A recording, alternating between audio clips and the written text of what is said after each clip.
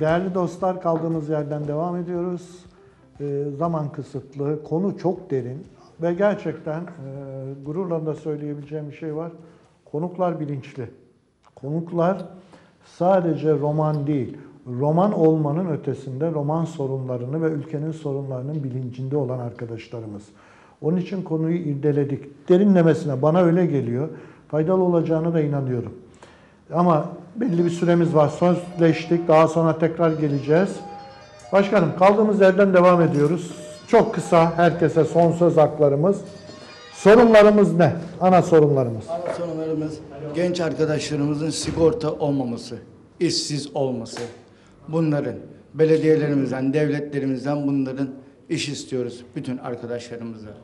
Sohbet arasında bir arkadaşınızın den bahsettiniz. Evet. Ekonomi, sigortası. Onu bir açar mısınız? Evet. Dün akşam kendisini ziyarete gittim evine. Oturduk konuştuk. İşin nasıl? Çok iyi. Maaşını aldın mı? Maaşının yarısını almış.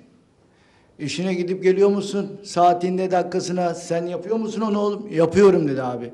Niye dedim maaşını vermiyor peki? Yarısını veriyor. Bilmiyorum abi. Yani daha bunları aşamadık biz. Bunlar önemli yerlerde çalışıyor. Şu an ismini hiç önemli değil.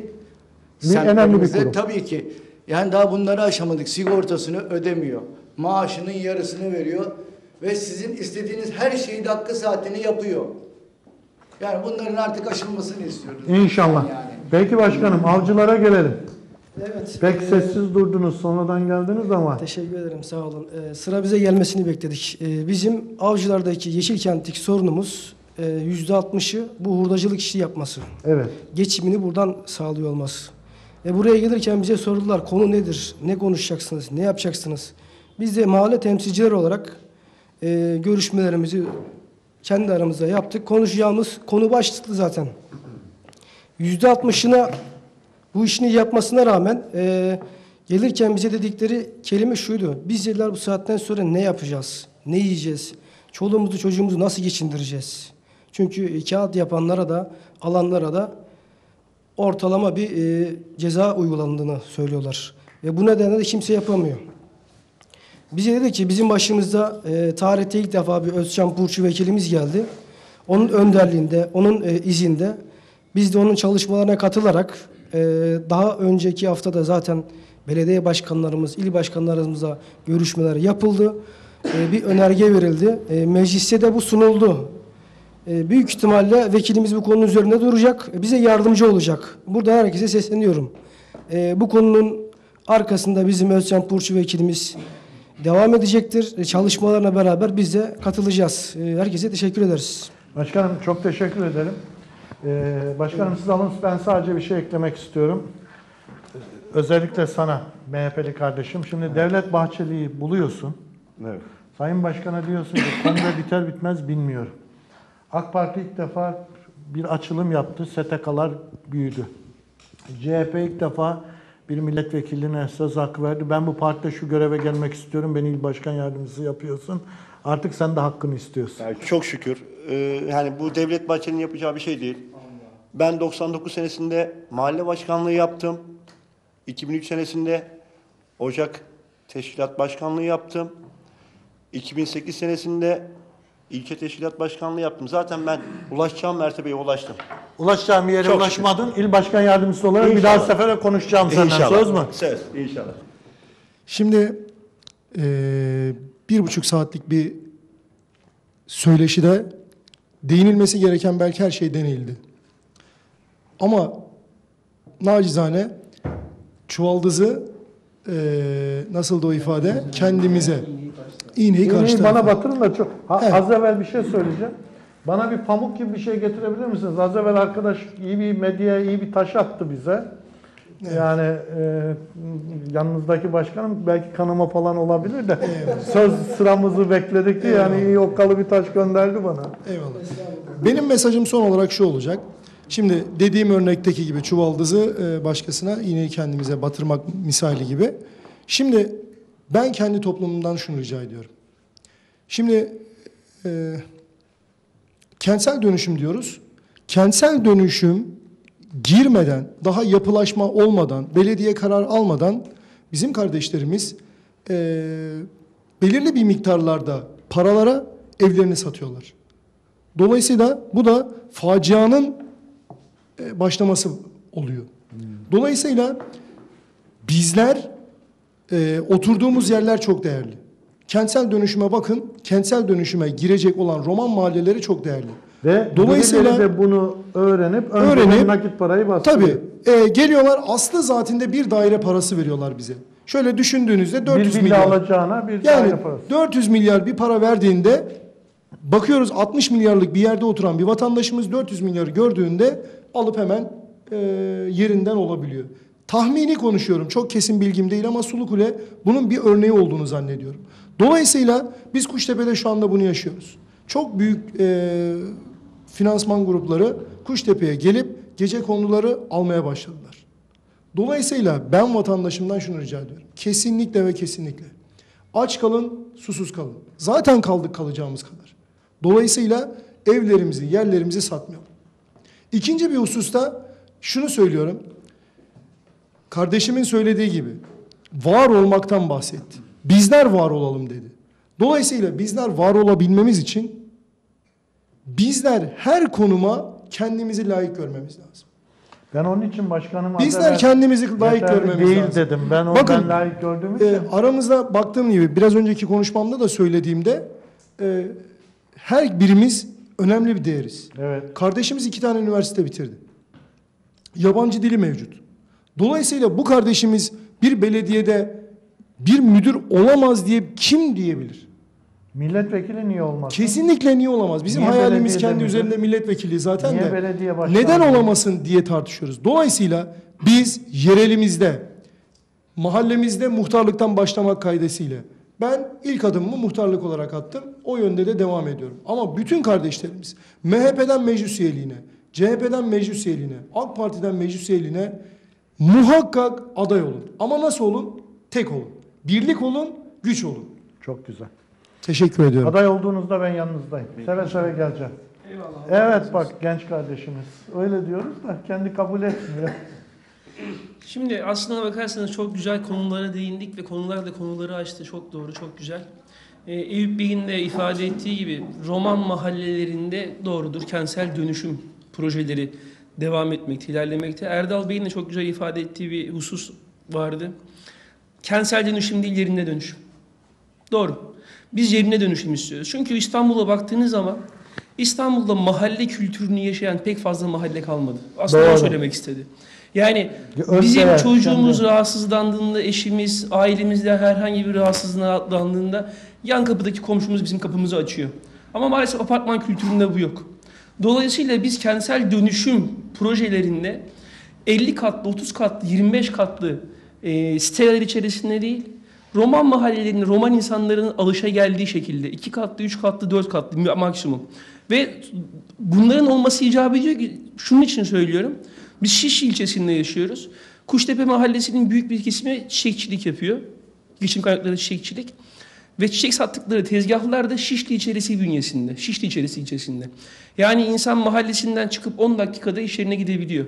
Ama kentsel dönüşümle siz bu insanları çok farklı yerlerde kaybettiğiniz zaman, çıkarttığınız Sadece zaman kültür değil, maalesef işini de kaybediyor. kaybediyor. Ekmeğini de Dolayısıyla kaybediyor, doğru. yani işi olmayanın aşı, aşı olmayanın da geleceği olması İşte. gibi bir durum söz konusu değil. Her şeyin başı aslına bakarsanız iş. İşi olan adamın çocuğu eğitimle görür. Rahatsızlığı en iyi şekilde tedavi edilebilir.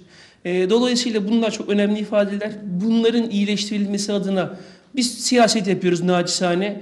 Bağlı bulunduğumuz siyasi partilerde bunu çok yüksek perdeden söylüyoruz ve söylemeye de devam edeceğiz. Roman hareketi bizim için büyük bir davadır ve partizanlık kabul etmez. Roman Hareketi davasına hizmet eden her kardeşimiz bizim başımızın tacıdır. Biz de bu davaya elimizden geldiği kadar emek vermeye, hizmet etmeye devam edeceğiz. Geçtiğimiz programlarda kafama takılan bir soru vardı, onu da ifade edeyim. E, dediniz ki niye terör örgütlerinin, Roman toplumlarının temahı yok, Ne görmediniz? Niye görmediniz dediniz? Sadece Türkiye Cumhuriyeti'nde bu değil. Dünya geneline bakın. Roman toplumları bulundukları ülkenin bayrak bütünlüğüne ve toprak bütünlüğüne sahip çıkan insanlardır.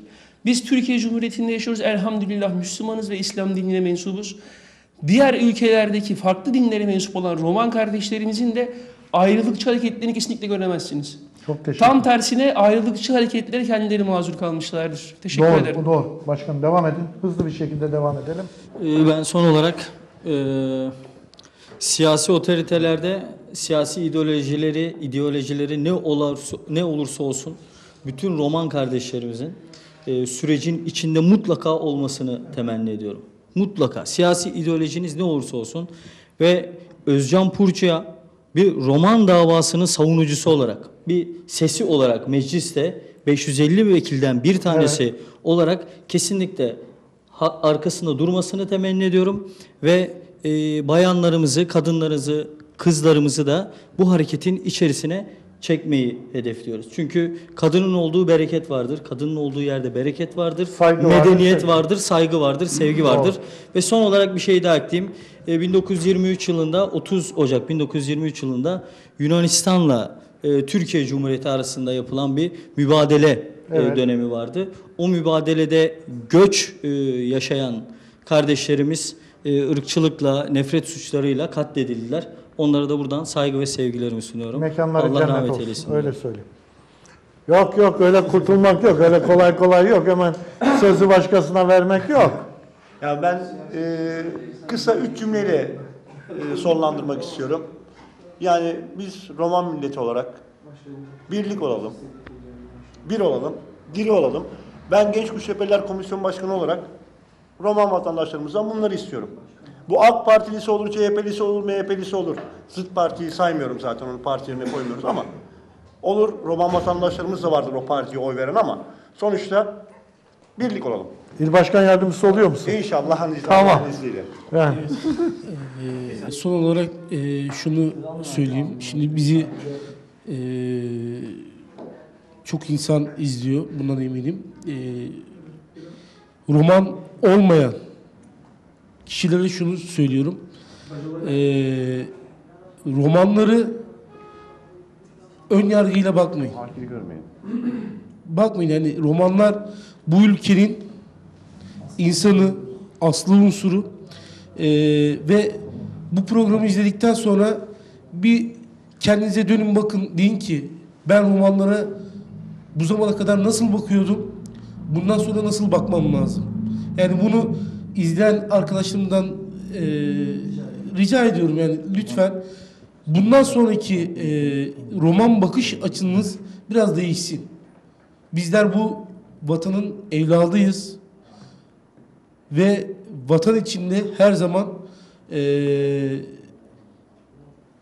yapmaya hazır bir insanlarız. İşte askerliğimiz yani askerlikten tutun, şehitlikten tutun her şey. Bizler de bu bedel ödemişiz bu vatan için. Eee, bunu Peki çok teşekkür ederim. Gel kardeşim gel. Sen bize yüreğini açtın, kahveni açtın. Roman mısın değil misin bilmiyorum. Nereli olursan ol. Sen son söyleyeceğin nedir? Tamam onun için bırakın. Ha, Benim son, için, benim için fark etmez. tamam, Hepimiz insanız. tamam. Ne Önemli mutlu. olan insana değer ve saygı göstermek.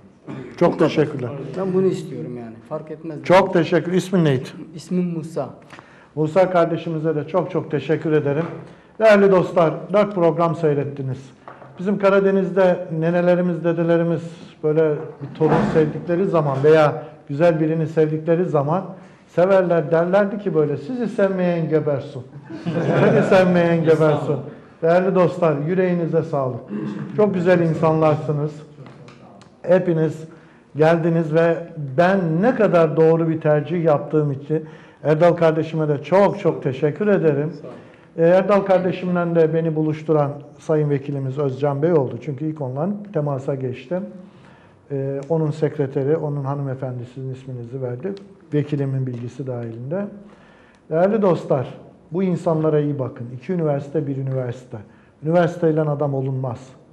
Üniversite eğitim sağlar ama adamlık vatan sevgisiyle, millet sevgisiyle ve içinde yaşadığı toplumun sorunlarını bilmekle değil, hissetmekle olur. Ne mutlu ki bu arkadaşlarım bunu hissediyorlar Size çok teşekkür ederim. Ben gene sizin Rizeli bir kardeşiniz olarak diyelim ki uşaklar sizi sevmeyince ben Biz de şöyle diyelim mi? Aç o devre diyelim o zaman. Tamam. Hadi kolay gelsin.